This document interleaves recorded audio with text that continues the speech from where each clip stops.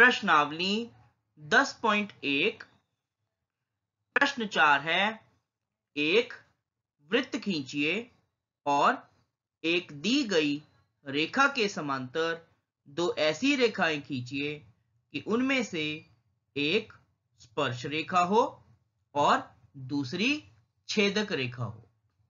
और देखिए बच्चों, ये हमारे पास एक वृत्त है और हमें यह एक रेखा दी गई है।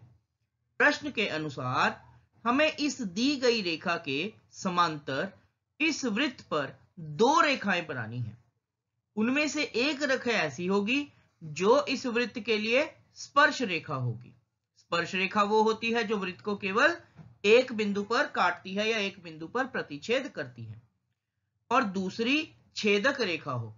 छेदक रेखा वह होती है जो वृत्त को दो बिंदुओं पर प्रतिच्छेद करती है।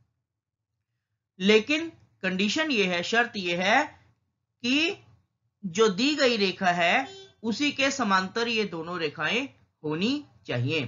तो आइए देखते हैं।